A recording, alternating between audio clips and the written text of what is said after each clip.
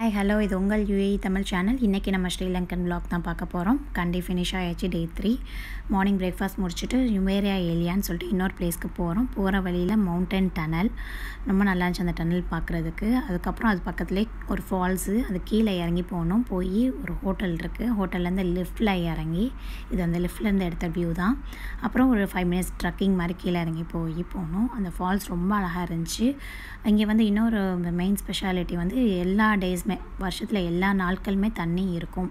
ஸ்ரீலங்காவை பொறுத்தவரைக்கு அங்கே ஒரு coffee shop இருந்துச்சு. அங்கே உட்காந்துட்டு நின்றுட்டு நல்லா வியூலாம் பார்த்து ஃபோட்டோஸ்லாம் எடுத்துகிட்டு கொஞ்சம் சாரெல்லாம் அடிச்சிருந்துச்சு. நல்லா இருந்துச்சு.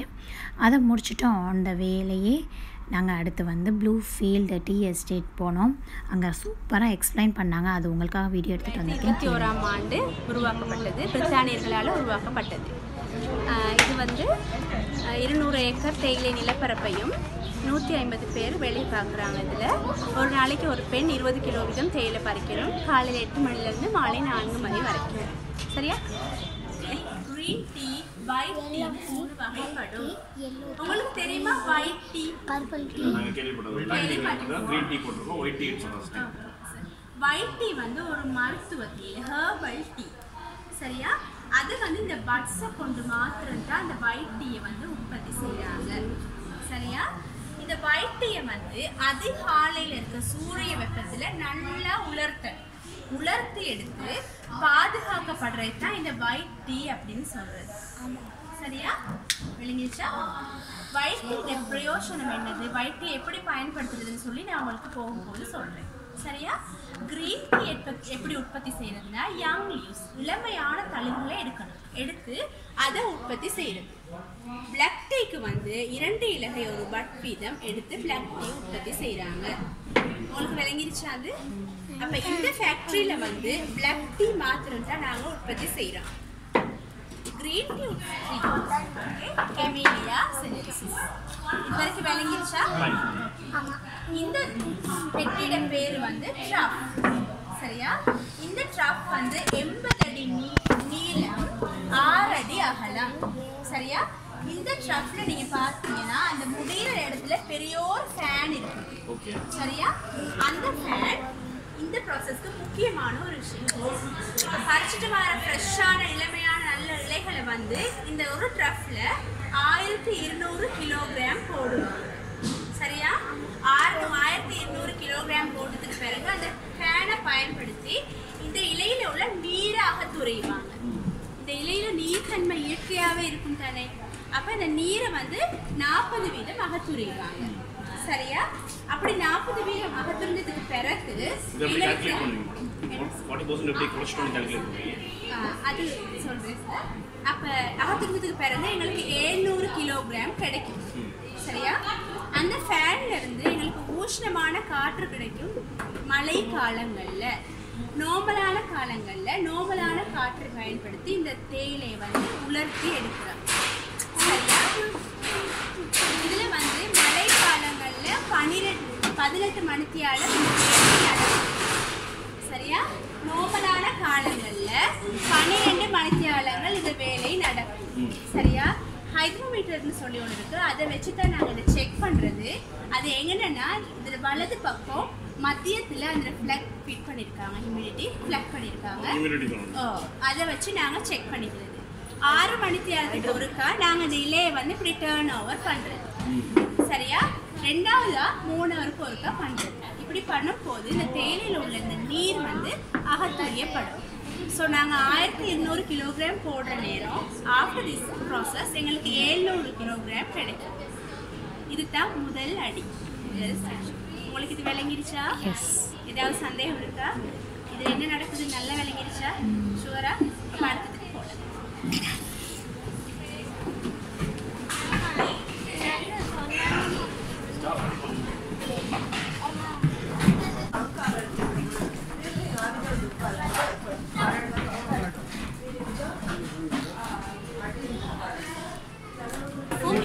ஏழு வகையான ஃபேனும் இருக்குது நான் சொன்னேன் ஷாப் Fine. சரியா சீசன் டைம்ல மேபி இந்த ஏழு ட்ரஃபுமே நிரம்பிடும் இந்த ஃபேன் வந்து நாங்க காலை நேரங்கள்ல யூஸ் போட இயலாது. அதுக்கான காரணம் வந்து இந்த ஃபேன் வந்து அதிக அளவிலான சத்தம். ஓகே சரியான லெவல் ஸோ இது வந்து இப்போ நீங்க பாத்தீங்கன்னா மாலை நாலு மணி ஆகும் தேயிலை பறிச்சுட்டு வர.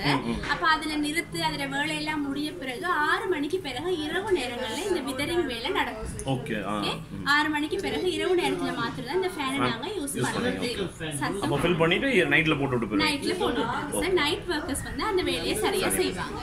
தேயிலையோட மர மனம் சுவை நிறத்துக்கு முக்கியமான இன்னொரு காரணம் தான் நாங்க விறகு பயன்படுத்தி அதை உலர்த்துறது ஸோ நீங்க பாத்தீங்கன்னா தெரியும். அந்த மாதிரி விறகுகளை பயன்படுத்தி தான் நாங்க உலர்த்துறது இந்த செக்ஷன் உங்களுக்கு விளங்கிருச்சா? டவுன் ஃப்ளோர் போமா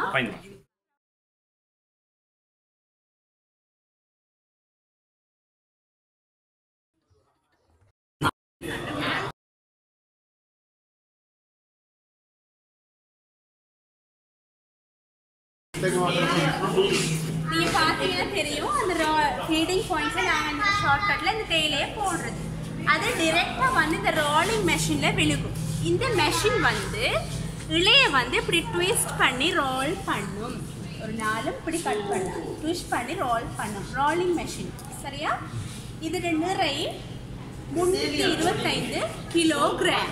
அதன் நேரம் இருபது நிமிடம். ஸோ இதில் போட்டு நல்லா அந்த டைமில் இப்படி க்ரஷ் பண்ணி எடுத்ததுக்கு பிறகு கீழே வந்து ஒரு டோர் இருக்குது. அந்த டோரை ஓப்பன் பண்ணி ஒரு தொழில் எடுத்து நாங்கள் அடுத்தடுத்த செக்ஷனுக்கு ட்ரான்ஸ்ஃபர் பண்ணுவோம். ஆமாம் சார் அப்போ இதில் உங்களுக்கு இதில் என்ன நடக்குது? இந்த ரோலிங் மெஷின் என்ன செய்யுது அப்படிங்கிறது உங்களுக்கு விளங்கிடுச்சு. நீங்க பாத்தீங்கன்னா இந்த சலிக்கிற இயந்திரம் மாதிரி இருக்குது. அதுதான் சீவிங் மெஷின் சொல்றது. சரியா? இது வந்து இந்த வைப்ரேஷன் இப்ப மேல இருந்து கீழ் தூக்கி இப்படி வைப்ரேஷன் மாதிரி வேலை செய்யும். அப்படி வேலை செய்யற நேரம் அந்த நல்லா ஃப்ரெஷ் ஆகின பார்ட் வந்து கீழே விழும். சரியா? பாத்தீங்கன்னா சார் கீழே விழுகும். க்ரஷ் ஆகாத பார்ட்ஸ் வந்து மேலே தங்கி நிற்கும். அப்ப அந்த க்ரஷ் ஆகாத பார்ட்ஸை வந்து நாங்க ஒரு தொழில எடுத்துட்டு இங்க பாத்தீங்கன்னா ஒரு சின்ன ரோலிங் மெஷின் இருக்குதாங்க அந்த ரோலிங் மெஷின்ல போட்டு மறுபடியும் நாங்க அதை க்ரஷ் பண்றோம் ரோல் பண்றோம் சரியா? அப்ப இந்த க்ரஷ் ஆகி இருக்குது ஏற்கனவே. அதை ஓ அதை எல்லாத்தையுமே எடுத்து க்ரஷ் ஆகினது எல்லாமே எடுத்து இந்த கான்கிரீட் பிளாக்ல நாங்க போடுறது. சரியா சார் இது வந்து ஒரு தேயிலை உற்பத்தியில முக்கியமான ஒரு ப்ராசஸ் தான் இந்த ஃபர்மெண்டேஷன் சொல்றது. ஸோ உங்களுக்கு தெரியுமா ஃபர்மெண்டேஷன் என்னன்னு சொல்லி? அதை புளிச்சு வைக்கிறது. அந்த ஃபர்மெண்டேஷன் சொன்னாக்க மேம் கிட்ட வாங்க. ஃபர்மெண்டேஷன் சொன்னாக்க நேச்சுரல் ஆக்சிடேஷன் சரியா? இயற்கை நிறம் மனம் சுவை மாறுதல். ஒரு உதாரணம் வந்து நீங்க ஒரு ஆப்பிள் ஒன்று வேண்டிட்டு வெட்டிட்டு கொஞ்ச நேரம் ஒப்பனையால வைக்கிறீங்க. சும்மா வைக்கிறீங்க. அந்த ஆப்பிள் வந்து ப்ரௌனிஷா மாறும். நாங்க என்ன சரி கெமிக்கல் யூஸ் பண்றோமா? இல்ல. சும்மாவே அது அந்த இயற்கையான காத்து படப்பட அது அப்படியே மாறிடுது. அதே சேம் ரூல்ஸ் தான் இந்த தேயிலையிலையுமே இந்த பச்சையம் வந்துட்டு அப்படியே ப்ரௌனிஷா மாறும். இந்த கான்கிரீட் பிளாக்ல போட்ட பிறகு. இதில் போட்டது? இந்த கான்கிரீட் பிளாக்ல ஓகே ஓகே சும்மா காய போட்டுருவீங்க. ஓ காய போடுறது ஓகே ஃபைன் ஹியூமிடிட்டி லெவல் வந்து இந்த ஏரியாவில் நார்மலாக ஹையாக இருக்கும். Okay. கூலாக ஃபீல் ஆமா, correct. ஆ. அப்போ இந்த கான்கிரீட் பிளாக்ல வந்து டூ அண்ட் ஹாஃப் ஹவர்ஸ் நாங்கள் போட்டு வைக்கிறது. அந்த தின் லேயர் வந்து த்ரீ சென்டிமீட்டர் ஸோ அதில் நாங்கள் போட்டு வச்ச பிறகு அது இயற்கையாகவே நிறை நிறம் எல்லாம் சுவை எல்லாம் அப்படியே மாறும். மாறின பிறகு நாங்கள் கலெக்ட் பண்ணி அதை ட்ரையர் ரூமுக்கு அனுப்புறது உலர்த்தும் அறைக்கு அனுப்புறது. சரியா? இது வரைக்கும் இந்த ரூம்ல என்ன நடக்குது? இந்த மெஷின் இந்த மூணு மெஷின் இது ஃபுல்லாவே உங்களுக்கு விளங்கிருச்சா? கண்டிப்பா, sure. என்ன டவுட் இருக்கா? இல்லை மேடம் நான் உங்களுக்கு சாம்பிள் காட்டுறேன்.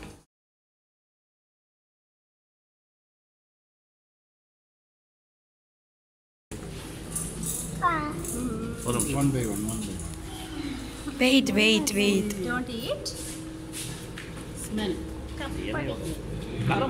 ஸ்மெல்லே ஒரு இது வந்து உலர்த்தும் அறை ட்ரையர் ரூம்னு சொல்றது. இந்த மெஷினை பத்தி நாங்க ரொம்ப பெருமைப்படுவோம். இந்த மெஷினுக்கு தொண்ணூத்தேழு வருடங்கள் ஆகிறது. ரொம்ப பழமை வாய்ந்த மெஷின் ஆனா இன்னும் எந்தவித பிரச்சனையும் இல்லாம நல்லா வேலை செய்யும். ஓகே இந்த மெஷின் பெல்பாஸ்ட் அயர்லாண்டில் மேட் பண்ணுது. பெல்பாஸ் ஹயர்லேண்ட் மெஷின் இப்போ தொண்ணூத்தேழு வருடம் பழமை வாய்ந்தது தானே மேம் இதில் வந்து ரெண்டு வகையான ஃபேன் இருக்குது சார் அதில் ஒன்று வந்து உஷ்ணமான காற்றையும் இன்னொன்று வந்து புகையையும் மேற்கொள்ளுது. அது வந்து ஃபயர் சேம்ப் அதுக்காக விறகு அடுப்பு தான் நாங்கள் யூஸ் பண்ணுறோம் விறகு புகை விறகு வெப்பத்தை தான் இதை உலர்த்துறதுக்கு. இப்போ நீங்கள் பார்த்தீங்கன்னா இதில் மூணு வகையான ஸ்டேஜும் ஆறு வகையான லேயரும் இருக்குது ஸோ ஆஃப்டர் இந்த ஃபெர்மெண்டேஷன் முடிஞ்ச பிறகு அந்த கலெக்ட் பண்ணுற அந்த ஃபெர்மெண்டேஷன் லீவ்ஸை வந்து அந்த இது லேயர்ஸில் இப்படி ட்ராவல் ஆகும். ஆகிற நேரம் ஹண்ட்ரட் பர்சன்ட் கம்ப்ளீட்லி ட்ரை ஆகிடும் நல்லா உலர்ந்து உலர்ந்து வரும். சரியா? உலர்ந்து பார்த்தீங்கன்னா இந்த வெள்ளை பெல்ட் ஒன்று இருக்குது சார் அந்த வெள்ளை பெல்ட் மூலமாக அப்படி கீழே வரும். வந்து அந்த பாஸ்கெட்டுக்கு நிறையும். சரியா? இது வந்து இருபத்தோரு நிமிடம் இந்த செயற்பாடு நடைபெறும் தொண்ணூறு பாகை செல்சியஸ்க்கு. ஓகே ஹீட் பண்ற ப்ராசஸ் எங்க இருக்கு கீழ இருக்கு. கீழே இருக்கு சார் ஃபயர் சேப்பர் கீழே. விறகு அடுப்பு இருக்குது. அது வந்து எங்களுக்கு க- பார்க்கறதுக்கு அலௌட் இல்லை. சும்மா கேட்டேன். ஓகே சார் 90 டிகிரில மெயின்டைன் பண்ணுங்க. ஆமாம் சார் நைன்டி டிகிரி இது வந்து ஃபுல் ட்ரை ஆகுது மண் மாதிரி காஞ்சு போனேன் இருக்கும். இந்த ஸ்டெம்ஸில் வந்து பாரமே இருக்காது. இந்த காம்பு வந்து நாங்கள் சாதாரண நினைக்கிறது காம்பு பாரம் இலை பாரம் இல்லைன்னு ஆனால் இலை பாரம் காம்பு பாரம் இல்லை. ஆனால் இந்த காம்பு வந்து எங்களோட உடம்புக்கு நல்லதும் இல்லை. நாங்கள் உட்கொள்ளக்கூடாது. எங்களோட ஃபேக்ட்ரி ட்ரீ ப்ரொடியூஸில் நாங்கள் வந்து இந்த காம்பை வந்து நாங்கள் தீக்கி போடுறது இல்லை. இந்த காம்பு நாங்கள் செப்பரேட் மெஷினில் போட்டு பிரித்த பிறகு நாங்கள் அந்த காம்பை எடுத்து எங்களோட டீ பிளான்டேஷனுக்கு உரமாக யூஸ் பண்ணுறோம் கம்போஸ் போட்டு. ஓகே உரமாக யூஸ் பண்ணுறோம் ஓகே இது வரைக்கும் உங்களுக்கு விளங்கிருச்சா. செப்பரேட் ஏரியா ஏரியான்னு சொல்றது சரியா? இந்த மெஷின் ஃபைபர் பார்ட்டிகல் மெஷின் இதுக்கு மேல இருக்க இந்த ரோலர் பாத்தீங்கன்னா மேக்னெட்டிக் ரோலர் அதாவது காந்த சக்தி உள்ள ஒரு ரோலர் சரியா? இந்த மெஷின் வந்து எலக்ட்ரோஸ்டேட்டிக் பவர்னால யூஸ் ஆகுது. சரியா? இந்த ரோலர் என்ன செய்யும்னு பார்த்தீங்கன்னா இந்த வெயிட் இல்லாதது பாரம் குறைந்ததை இப்படி கேப்ச் பண்ணிக்கொள்ளும் பிடிச்சுக்கொள்ளும். அப்ப அந்த பாரமானது வந்து கீழே விழுந்து அந்த ட்ரெயின் மூலமாக அப்படியே கலெக்ட் பண்ணிடுவோம். அப்ப நான் சொன்னேன் உங்களுக்கு என்ன பாரம்? பாரலன்னு So, அந்த மாதிரி அந்த பாரமானதை நாங்கள் கலெக்ட் பண்ணி எடுத்து அங்க வந்து ஒன்று தொடக்கம் பதிமூணு வகையான செப்பரேட் மெஷின் இருக்குது. இதே மாதிரி ஆமா சார் அந்த மெஷின்ல போட்டு நாங்க லார்ஜ் ஸ்மால் மீடியம் வந்து பிரிச்சு எடுக்கிறோம் சரியா? ஒரே ஒரு கலர் செப்பரேட் மெஷின் இருக்குது. மேட் இன் ஜப்பான் அந்த மெஷின் என்ன செய்யணும் சொன்னா ப்ரௌனிஷ் பிளாக்கிஷ் பார்ட்ஸை தனியா பிரிச்சு எடுக்கும். ஸோ இது ஃபுல்லாவுமே செப்பரேட் ஏரியா மேடம் அந்த ரூட்டை ஏன் சாப்பிடக்கூடாதுன்னு சொன்னீங்க ஓட்டோ சப்போஸ் அது என்ன? சார் அது வந்து பொதுவாக உடம்புக்கு நல்ல இல்லைன்னு சொல்லுவாங்க சார் அது வந்து அதனால தான் நாங்கள் உரமாக யூஸ் பண்ணுறோம் இதில் எந்த வகையான சத்தும் இல்லை. சத்தும் இல்லை. சத்தும் இல்லை. ஓகே ஓகே சரியா? சைடு எஃபெக்ட் எதுவும் இருக்குமா மேடம் சைடு எஃபெக்ட்னு சொல்லல சார் சொல்லல. எந்த விதமான பிரயோஜனமும் ஜனமும் இல்லைங்கிற மாதிரி சொல்லி இன்னொரு வந்து சார் இப்போ இந்த நூற்றுக்கு நூறு வீதம் எப்படி நாங்கள் டீயை கம்ப்ளீட் பண்ணி எடுத்துட்டோம்னு உங்க நீங்கள் பார்த்துட்டீங்க அப்படி எடுத்துட்டு வர இந்த டீயை வந்து எண்பது வீதம் நாங்கள் கிளம்பு ஆப்ஷன் ஏலத்தாளர்களுக்கு அனுப்பணும். அது வந்து கவர்மெண்ட் ரூல்ஸ் ப்ரைவேட் கம்பெனி தான் ஆனால் ரூல்ஸ் எனக்கு தெரியல ஒரு லீவ் இதெல்லாம் மாறும் ஒரு லீஃப் இலங்கையில வந்து மூணு வகையான தேயிலை தேயிலை அறிமுகப்படுத்தியிருக்காங்க சார். அதுதான் white tea green tea black டீன்னு சொல்லுவாங்க. இப்போ நான் உங்களுக்கு ஒயிட் டீயை பத்தி ஃபர்ஸ்டா சொல்றேன். ஒயிட் டீ வந்து ஒரு ஹெர்பல் டீ நான் உங்களுக்கு சொன்னேன். அந்த பட்டை கொண்டு இந்த ஒயிட் டீயை உற்பத்தி செய்றாங்க. ஒயிட் டீ வந்து அதிகாலை சூரிய வெப்பத்துல உலர்த்தி எடுத்து பாதுகாக்கப்படுறது அந்த ஒயிட் டீன்னு சொல்றது. நாங்க வந்து ஒயிட் டீயை கோல்டன் டிப்ஸ் சில்வர் டிப்ஸ்னு சொல்லி இரண்டு வகையா பிரிப்போம். கோல்டன் டிப்ஸ் வந்து நான்கு கிழமைகள் சூரிய வெப்பத்தில் வச்சு உலர்த்துறது. சில்வர் டிப்ஸ் வந்து இரண்டு கிழமைகள் சூரிய வெப்பத்தில் வச்சு உலர்த்துறது. கோல்டன் டிப்ஸ் பார்த்தீங்கன்னா லைட்டாக ஒரு கோல்டு கலராக இருக்கும். சில்வர் டிப்ஸ் அதுவும் இருக்காது. சும்மா தண்ணி மாதிரி தான் இருக்கும். சரியா? இது வந்து cancer cholesterol blood sugar blood pressure blood cancer மற்றது ஸ்கின் ப்ராப்ளம்ஸ் அது எல்லாத்துக்குமே இது ஒரு நல்ல ஒரு நிவாரணியாக இந்த தேயிலை வழங்கும். சரியா? கோல்டன் டிப்ஸ் இஸ் ஃபர்ஸ்ட் குவாலிட்டியா இல்ல silver tips is first quality sir same quality same benefit just colour different colour difference colour மட்டும்தான் டிஃபரெண்ட் இன்னொரு விஷயம் என்னன்னு கேட்டா இந்த டீ வந்து ரொம்பவே எக்ஸ்பென்சிவ் சரியா? ஸ்ரீலங்கா ப்ரைஸ்க்கு ஒன் கிலோ அறுபதாயிரம். ரூபா அறுபதாயிரம் இருந்தாலும் வாங்குறாங்க சார் ஹெர்பல் டீ சரியா?